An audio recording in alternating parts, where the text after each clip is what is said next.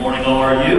Pray you're having a great week, and we are excited about uh, the series that we are in uh, called Mind Games. Now, last week you voted for the short sermon, so today you get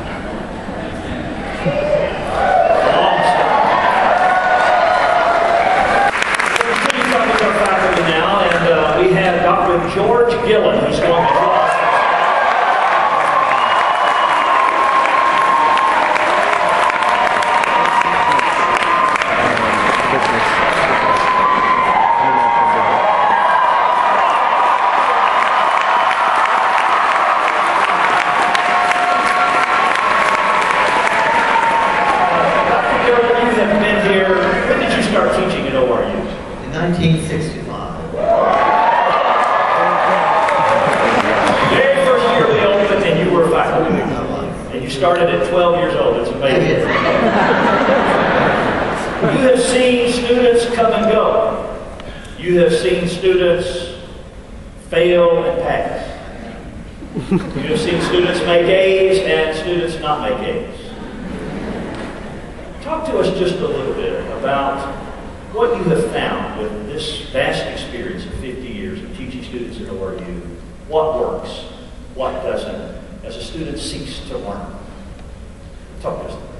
I'll be happy to do that. Today, I'm going to reveal my secret plan.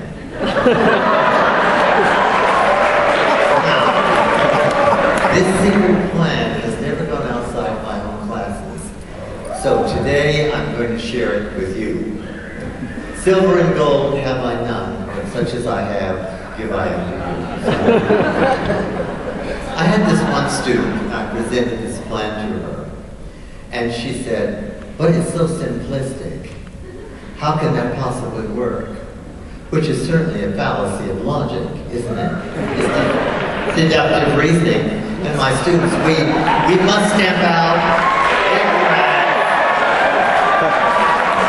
And so, love doesn't make the world go round. It's ignorance.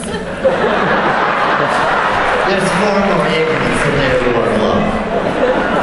And so I said, try this. So she did.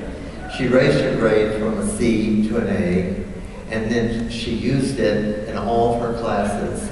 And she said, for the first time, she was a junior, in my whole career, I finally made a four point. So I know that it does work. And so if I could have my first slide. And there you are. Minimize the distractions. And that means don't study in your dorm room. The noise, the people, all of that, you're not going to be able to concentrate. So you go where there are no distractions.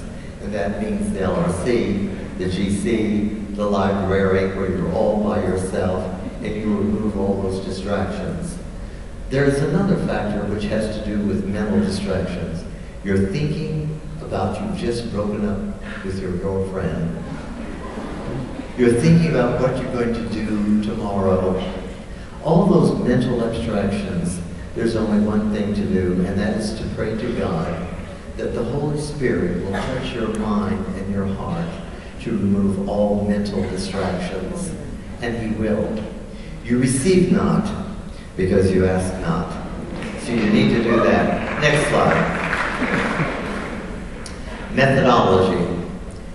Don't just read the text. Just don't read through your notes. Put them in an outline form and put them on three to five cards.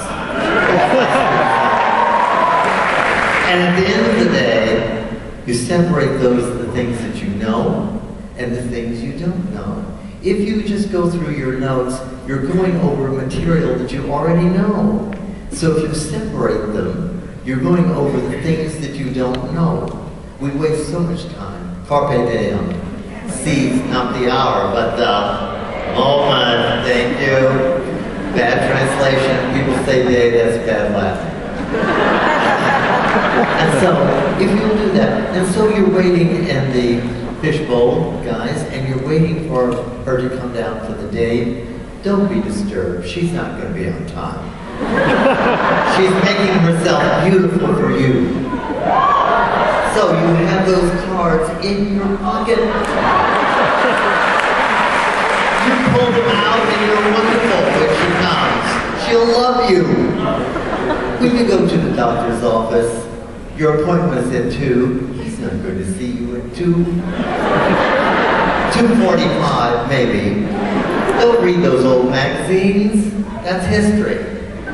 Your three to five cards. Bring out those three to five cards. You're caught in traffic. Turn off the motor. Three to five cards. Methodology. And the last one is. Time makes waits for no man and very few women. Doesn't? So, I suggest that you have a calendar. Now I know you all have cell phones and you use them 90% of the time. You're, you're texting, you're doing things like that. But you need a calendar for the month, and that's a desk calendar. And you put your assignments, your tests, your term paper. And remember, it's a term paper. It's not a weekend paper. So you allocate time.